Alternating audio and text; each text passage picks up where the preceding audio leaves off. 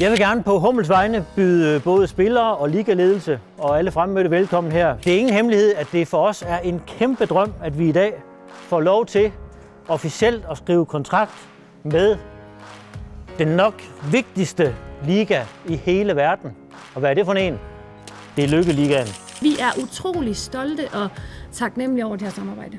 Tak. Lige måde. Så vil der være mulighed for spørgsmål. Er det fremtidssikring for Hummel at skrive kontrakt med Lykkeliga? Der er ingen tvivl om for os, at der er tale om en blåstempling, som løfter os op på den allerøverste hylde af de brands, man kigger på ude i verden. Vi rykker lige et, et hak op, øh, endda over øh, Champions League ved, ved det samarbejde her. Så, Men det var så let. så er det officielt.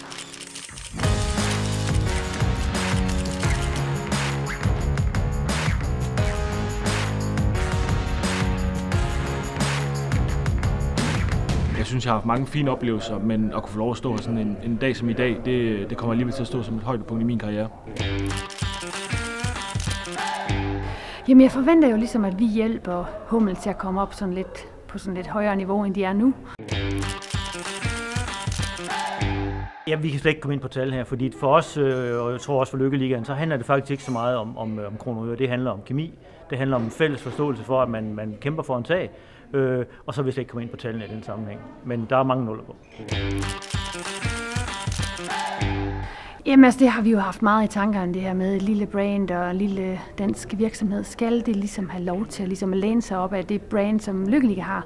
Og det blev vi simpelthen enige om, at ligesom på en eller anden måde, vi giver chancen til vores håndboldspillere hver eneste dag og siger, at vi tror faktisk godt på, at I kan skyde, så tror vi faktisk også på, at Hummel godt kan vokse store sammen med os. Så øh, det er jo en stor forhåbning.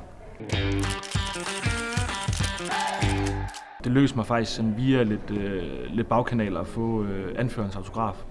Øh, og jeg har allerede øh, booket tid hos en, øh, en tatovør, øh, så jeg glæder mig meget til at få øh, Jakob anførens øh, autograf øh, på min krop nu. Øh, der har ikke været plads til, øh, til mine børn, men øh, den her den finder jeg plads til.